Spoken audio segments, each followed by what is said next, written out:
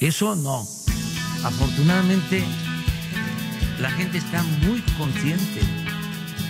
Vuelvo a reiterar el cambio verdadero en los últimos tiempos es el cambio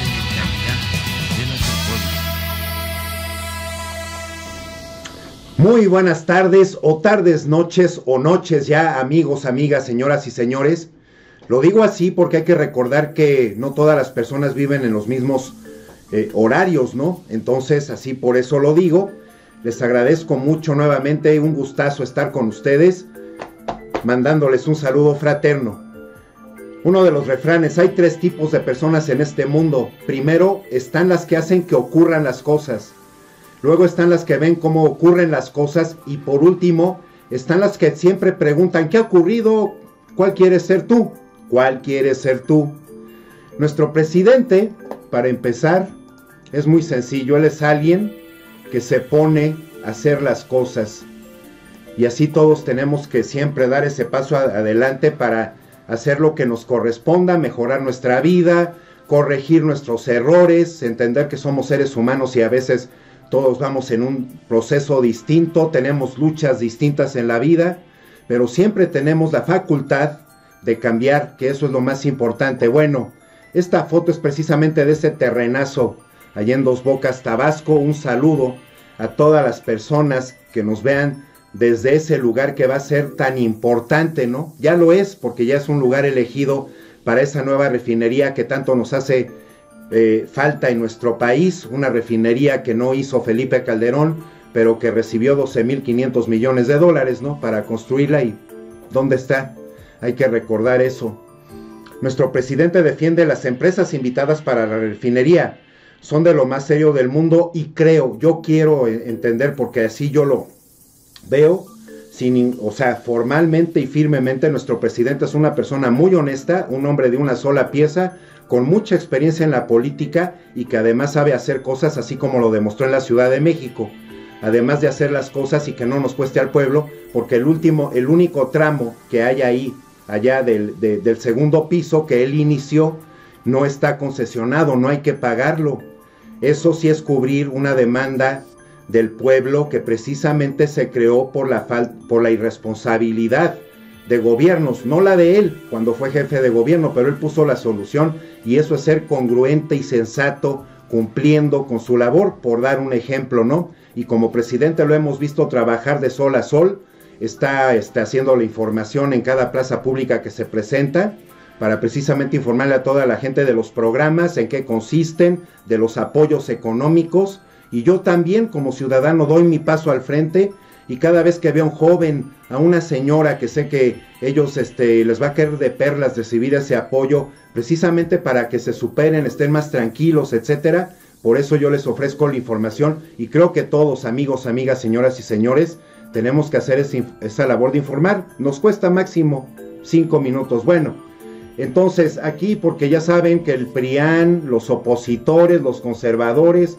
se ponen siempre a tratar de sacar tapitos negros que ni existen, son fantasiosos, pero todo lo que se imaginan y todo lo que salen a decir es porque se imaginan que todo mundo es de su misma condición. Qué lamentable, qué detestable, y ahí lo seguimos viendo en las redes, yo me sigo peleando con bots o con personas que apoyan con eso allí en las redes sociales, peleándome, pero decentemente. Yo también pongo mi categoría siempre de frente y así los pongo en su lugar. Y ellos pueden decir misa no me, no me voy a bajar a su nivel.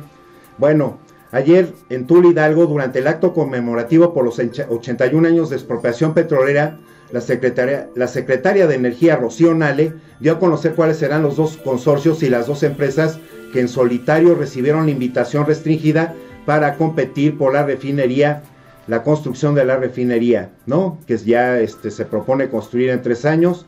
También les pidió que nos ayudaran participando en la prestación de servicios, en el caso concreto de la construcción de infraestructura y la perforación de los pozos.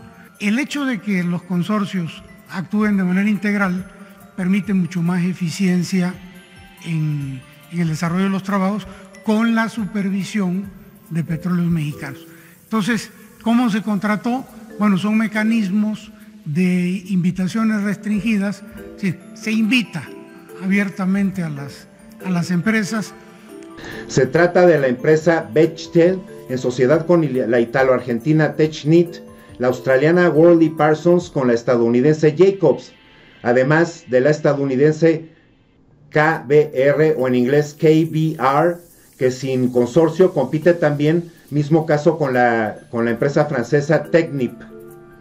Desde ayer anunciar el procedimiento sería investigación restringida y no por la licitación, pues según Rocío Nale, han tenido malas experiencias bajo el último procedimiento, tanto la funcionaria como el presidente de México. Insistieron que esas empresas mencionadas no tenían antecedentes de corrupción en sus países ni en su historial, que eso es lo que tanto está cuidando muy bien nuestros gobiernos y cada persona también así lo tenemos que cuidar. Sin embargo, una revisión realizada por APRO permite observar que cada una de las empresas tiene expedientes abiertos por corrupción en diferentes países. Eso es algo que pues hay que ver, ¿no? También, cuestionado al respecto, nuestro presidente se limitó a decir que no tienen ellos además antecedentes de corrupción en México y que fueron elegidas por su experiencia en la construcción de refinerías, destacando que una de las empresas ha concluido 200 proyectos similares, o sea, siendo eficientes al, obtener esos contratos y al hacer esos proyectos. Yo sigo por delante con la honestidad, el trabajo arduo de nuestro presidente, un hombre de una sola pieza. Y Rocío Nale pues también tiene que ponerse muy viva, ¿no?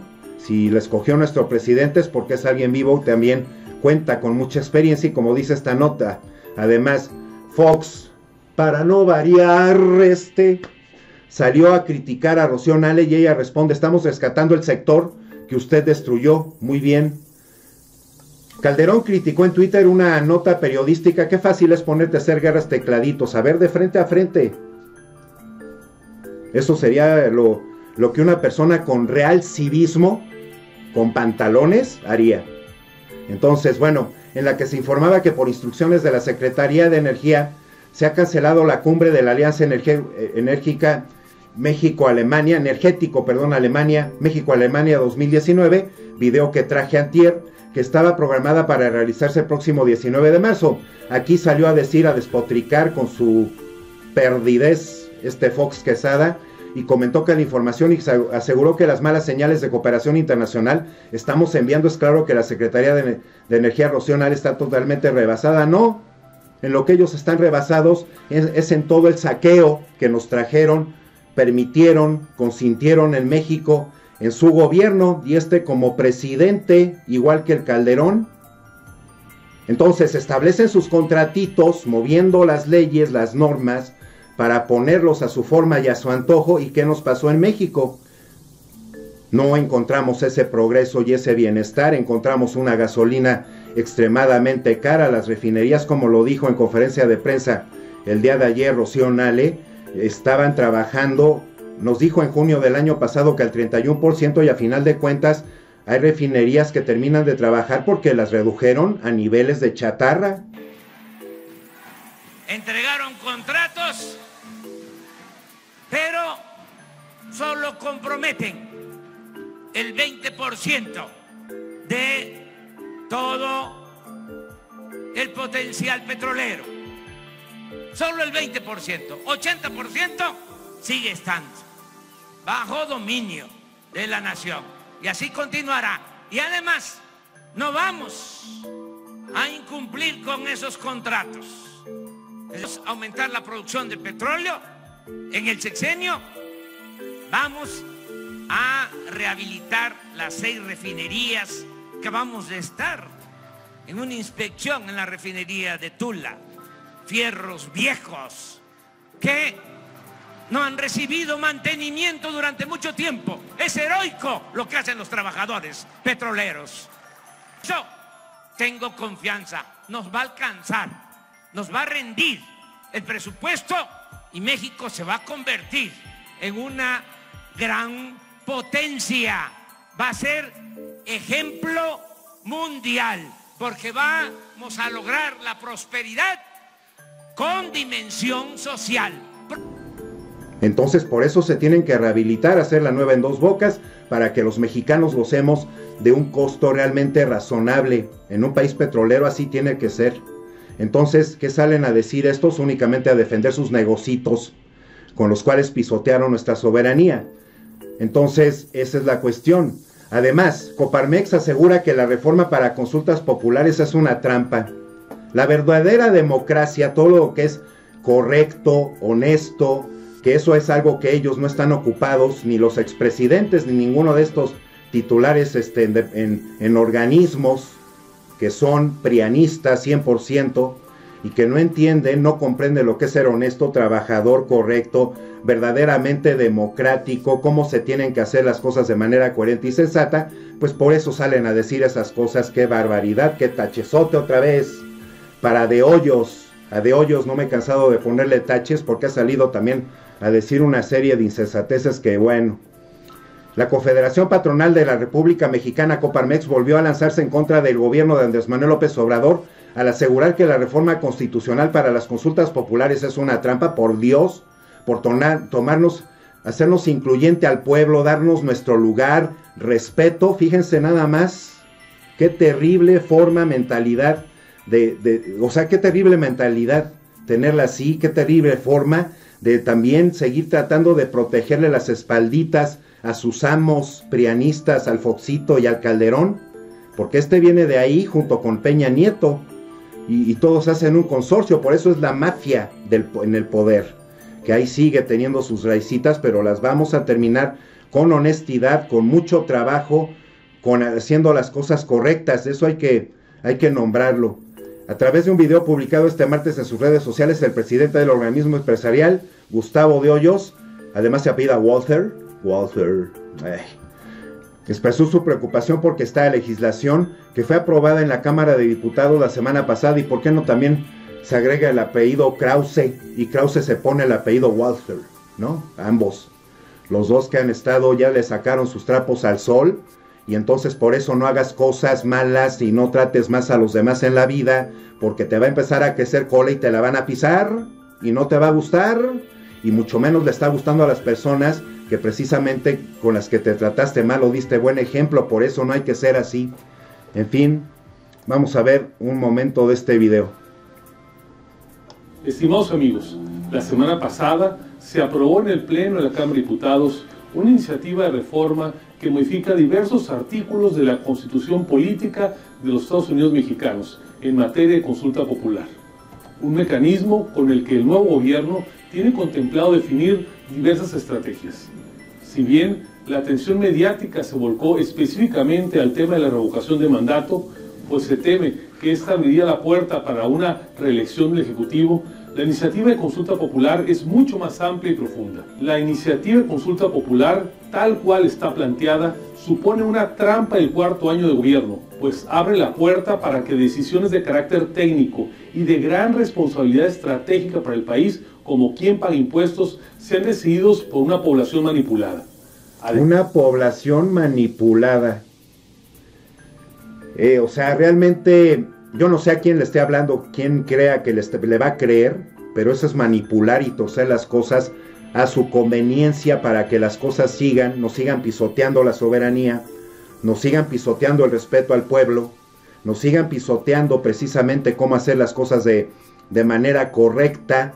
Eso es lo único que salen a defender por su avaricia, por su este, mentalidad egoísta, por el hecho de que precisamente llegaron pensando que ellos iban a estar por los siglos de, los siglos haciéndonos y deshaciéndonos a su antojo.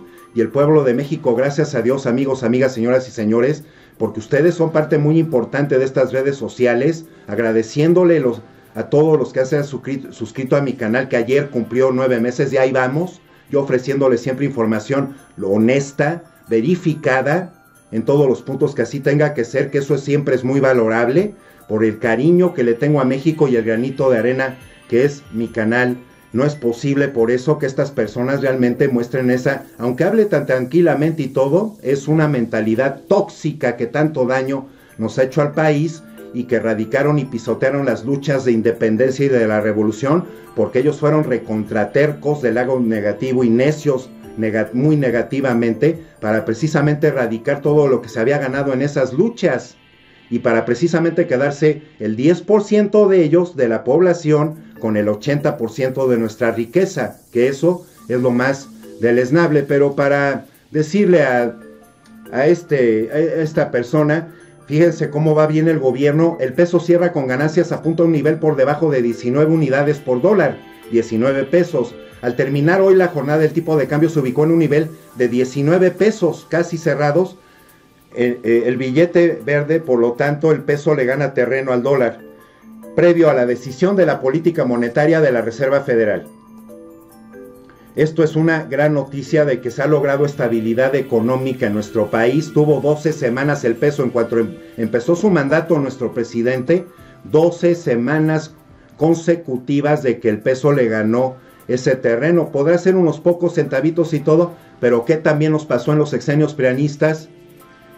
Se nos subían por un peso, unos 50, dos pesos, tres pesos.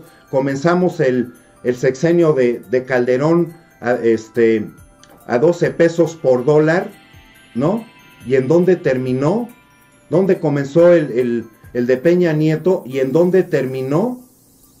Empezó en un orden, fue el de, perdón, el de Peña el que empezó en 12 pesos y terminó en 19, 20 pesos por dólar.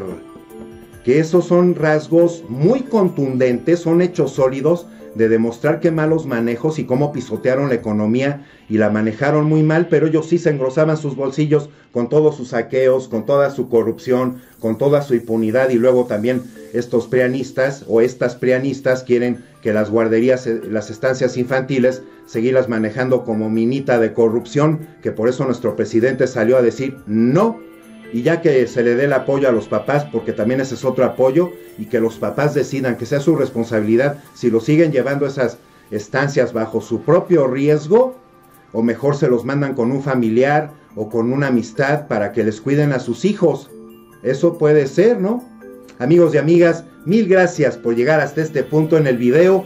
Mil gracias nuevamente por hacer que este canal, su canal, Toño Visa, llegue a nueve meses. Es un trabajo arduo, pero que lo hago de la mejor manera y es algo muy satisfactorio. En verdad, así, sinceramente, por eso siempre les pongo su corazón, porque es un agradecimiento sincero que me pongan un comentario y sumamente agradecido por sus suscripciones. Ahí vamos, cosas muy buenas se pueden presentar en el futuro. A mí no me van a ver en programas que han apoyado tanto al prianismo, créanmelo. Voy a ser muy cuidadoso de que ninguno de esos medios, si se presta esto en el futuro, ¿no? Y si no, yo sigo haciendo las cosas normal, como es un youtuber que se presta, es, es algo que nace de uno y es algo que uno trabaja lo mejor posible y yo no necesito que me hagan haciendo entrevistas en, en, televisión o en radio o en revistas, pero si eso se presta que sea con periodistas que realmente sean profesionales, que realmente sean objetivos y que realmente también hayan estado durante un tiempo adecuado, este, apoyando las cosas y estando muy alerta de las cosas que nos han hecho daño al país, solamente así. Bueno, en fin, mil gracias amigos, un saludo fraterno esperándolos ver en el siguiente video, por favor, que estén muy bien, hasta la próxima.